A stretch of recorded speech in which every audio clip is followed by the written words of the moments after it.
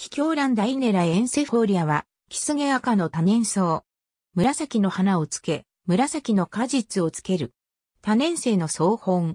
太い根茎があり、その表面は葉鞘で覆われる。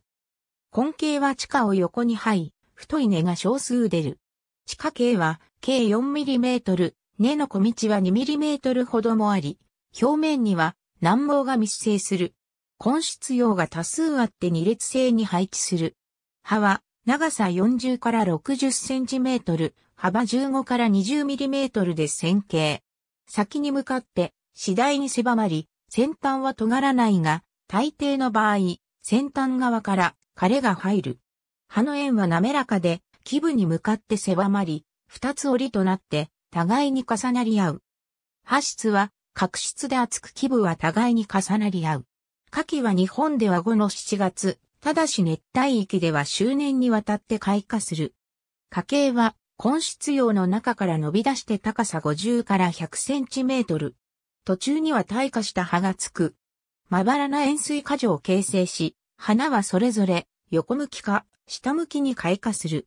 花柄は長さ7から 15mm で、基部には卵状皮神経のツトがつく。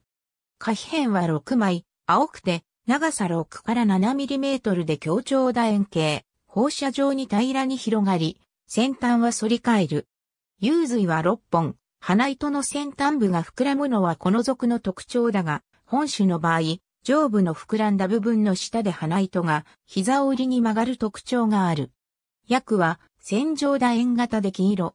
果実は肉質で球形、計1センチメートルほどで青紫色になる。種子は長さ4ミリメートルの長楕円型で黒い。和名は気境蘭であり、花の色が気境に似ていることに基づく。日本では、本州では、紀伊半島、四国、九州と小笠原諸島、琉球列島に見られる。日本国外では、サタケタは中国、マレーシア、インドに分布するとしている。本種を講義にとれば、その分布は極めて広く、東南アジア熱帯域では普通種で、オーストラリア、タスマニア、ニュージーランドから西太平洋諸島にまで分布し、稀ではあるが、アフリカやマダガスカルからも知られる。ただし地方型や生態型も数多く、それらを別種として10種にも分ける説もある。日本本土においては、その生育域は海岸が多い。佐竹とも北村他も、その生育環境を海岸としている。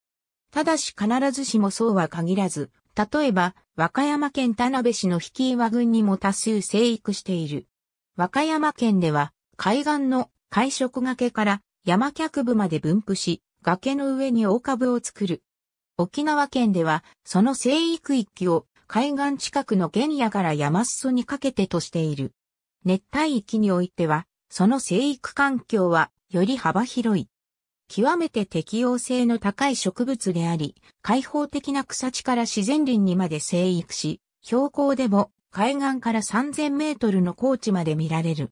気境乱属には蒸気のような分類上の問題もあり、研究者によってその種数は10から30まで諸説あるが、日本に産する種は本種のみである。